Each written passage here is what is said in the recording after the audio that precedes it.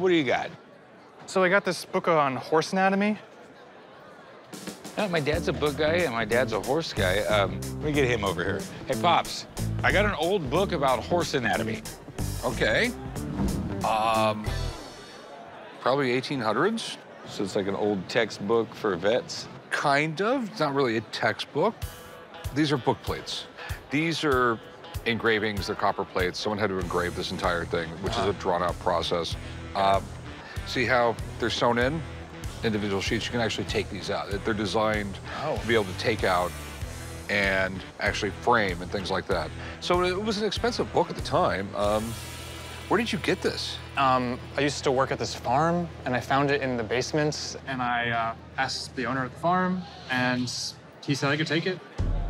Okay. Um, I mean, it's, it's in rough shape. Um, people love horses. Well, most people do, okay? Some people in this world don't like horses, okay?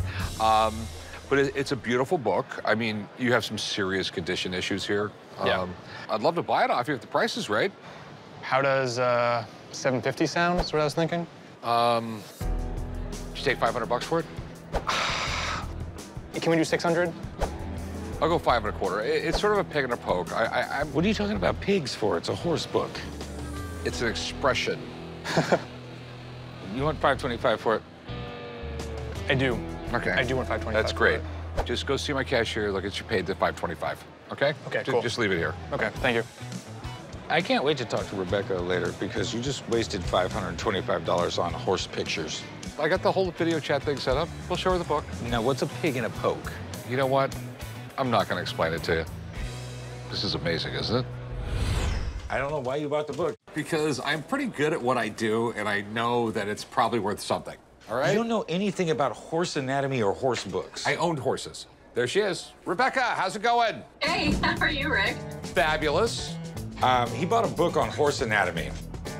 How do you feel about that, Corey? You know my love of horses. What do you think? The Anatomy of the Horse, the George Stubbs book, it is famous for those engraved plates. It was a huge project for the time. When it was first published in the 18th century, it was considered the best of its kind. And the author, Stubbs, as you can see, the artist, he got into extreme detail with how careful he was uh, following the anatomy of horses. And so it's this work of natural history when everyone's getting really interested in using that in order to kind of push forward science at the time. See? What do these books go for? There were a number of editions of this. What's the year of this edition?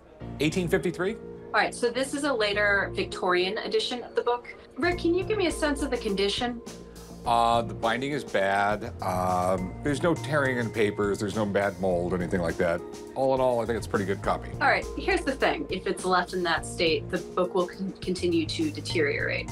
But if the interior looks nice, all the plates are there and the plates are intact, there's still real potential here. If it's, you know, in beautiful condition, it can be a $10,000 book.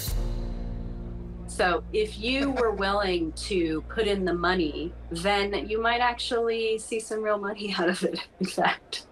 Can I send it to you and you can handle everything for it? Oh, yeah. Send it to me and I'll get it out to the right person and we'll get it repaired. All right, so I will get it out to you right away. Thanks, Rebecca. You're amazing as always. Thanks, Rebecca. No, it's not. I mean, no. I mean, it's it's got beautiful engravings, like I said earlier. You got lucky.